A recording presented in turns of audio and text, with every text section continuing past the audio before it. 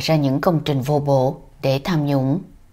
Cục Quản lý Đường bộ 3 thuộc Tổng cục Đường bộ Việt Nam đang hoàn thiện thủ tục cưỡng chế tháo dỡ 5 công trình cổng chào tại thành phố Con Tum trị giá 8 tỷ đồng. Nguyên nhân được cho biết là những cổng chào này được Ủy ban Nhân dân thành phố Con Tum xây dựng dù chưa được Tổng cục Đường bộ chấp thuận vì lý do mất an toàn giao thông. Tại cuộc họp báo hôm 14 tháng Giêng, ông Nguyễn Thanh Mân, Chủ tịch Ủy ban Nhân dân thành phố Con Tâm lý giải rằng những công trình này được khởi công vì mục đích nâng cấp lên đô thị loại 2. Việc xin giấy phép xây dựng cổng chào rất phức tạp, trong khi tỉnh yêu cầu hoàn thành các cổng chào trước năm 2021, nên thành phố đã triển khai cho kịp tiến độ. Dư luận cho rằng đây là một hình thức tham nhũng của các cấp lãnh đạo có thẩm quyền vì có xây mới có ăn. Trao đổi với RFA, ông Quang, một kỹ sư xây dựng khu vực miền Trung, nêu quan điểm của mình về vấn đề tham nhũng trong lĩnh vực xây dựng như sau. Tham nhũng không những không bớt mà còn diễn ra một cách tinh vi hơn trước, nhất là trong lĩnh vực xây dựng. Tinh vi hơn là bởi người ta đã thấy được những lỗ hổng trong cơ chế, trong luật pháp đối với lĩnh vực xây dựng. Trong luật xây dựng, người ta cũng đã điều chỉnh bổ sung một số điều luật nhằm hạn chế mức thấp nhất tình trạng tham nhũng trong xây dựng.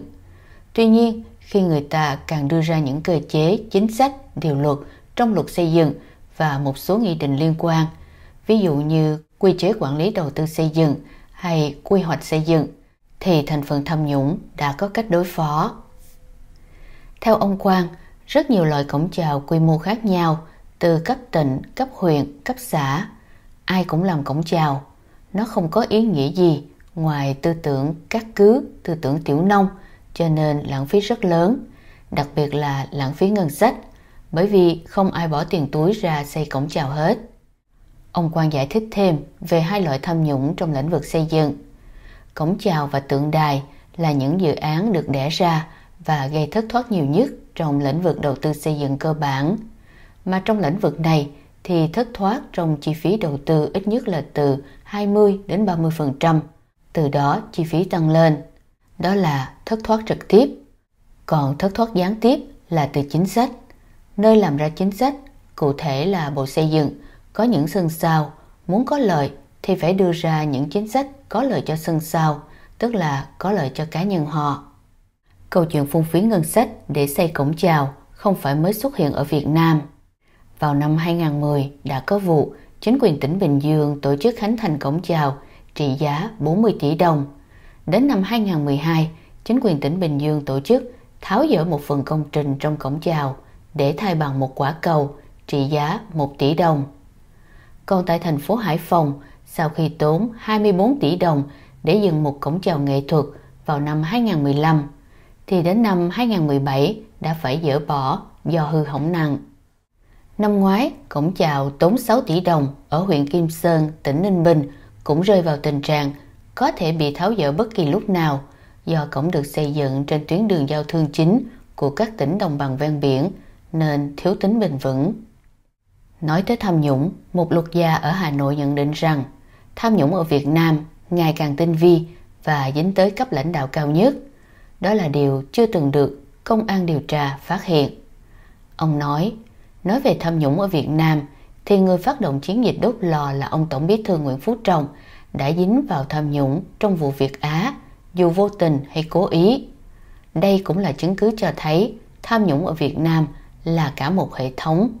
Bởi vì khi ông Trọng lúc đó là chủ tịch nước, đặt bút ký huân chương lao động hạng 3 cho Việt Á, tức là đã có các cơ quan hàng ngang, hàng dọc bên dưới thẩm định hết rồi.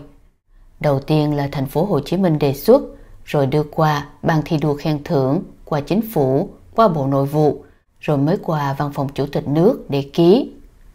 Vụ Việt Á là vụ tham nhũng chính sách điển hình. Nếu không có bàn tay vô hình điều khiển thì không thể nào sản phẩm của Việt Á được tiêu thụ đồng loạt trên 62 tỉnh thành của cả nước. Vì luật gia kết luận, không có thằng bán hàng nào giỏi bằng chính phủ trong vụ này. Cuối năm 2021, cơ quan cảnh sát điều tra của Bộ Công an đã khởi tố vụ án hình sự vi phạm quy định về đấu thầu gây hậu quả nghiêm trọng tại công ty công nghệ Việt Á. Tháng 3 năm 2021, công ty Việt Á đã được trao tặng huân chương lao động hạng 3 do chính chủ tịch nước lúc đó là ông Nguyễn Phú Trọng ký. Lãnh đạo ban thi đua khen thưởng Trung ương nói với báo chí rằng việc trình tặng khen thưởng cho công ty Việt Á dựa trên đề xuất của Ủy ban Nhân dân thành phố Hồ Chí Minh. Một số chuyên gia cho rằng tham nhũng xảy ra khắp nơi và không thể ngăn chặn cho dù ông Tổng bí thư Nguyễn Phú Trọng phát động chiến dịch đốt lò vào năm 2016 khi ông ta tái đắc cử chức Tổng bí thư tại Đại hội đảng lần thứ 12. Một năm sau, khi chủ trì phiên họp thứ 12 của Ban chỉ đạo Trung ương về phòng chống tham nhũng, ông Trọng nhắc lại, cái lò đã nóng lên rồi thì củi tươi vào đây cũng phải cháy. Củi khô, củi vừa vừa, cháy trước, rồi cả lò nóng lên, tất cả các cơ quan phải vào cuộc. Vì luật gia ở Hà Nội nhận định rằng không thể chống tham nhũng được nếu không có tư pháp độc lập. Hiện nay, cả chánh án và viện trưởng Viện Kiểm sát Nhân dân tối cao đều là đảng viên, thì rõ ràng đảng ngồi trên pháp luật. Vụ nào đảng cho xử thì xử, không thì thôi. Cơ chế này không thể chống được tham nhũng, đó là điều rõ ràng. Khi cương lĩnh của đảng được đặt trên hiến pháp thì chống tham nhũng chỉ nhằm bảo vệ lợi ích của đảng chứ không vì lợi ích của dân. Điều 119 khoảng 1 Hiến pháp năm 2013 quy định Hiến pháp là luật cơ bản của nước Cộng hòa xã hội chủ nghĩa Việt Nam, có hiệu lực pháp lý cao nhất. Mọi văn bản pháp luật khác phải phù hợp với hiến pháp. Mọi hành vi vi phạm hiến pháp đều bị xử lý. Thế nhưng tại buổi nói chuyện trước cử tri hai quận Tây Hồ và Hoàng Kiếm vào ngày 28 tháng 9 năm 2013, Tổng bí thư Nguyễn Phú Trọng đã tuyên bố Hiến pháp là văn kiện chính trị pháp lý quan trọng và bậc nhất sau cương lĩnh của đảng. Một số người dân cho rằng đảng cầm quyền với nhận thức như vậy thì đất nước Việt Nam mãi mãi là đất nước vô pháp luật.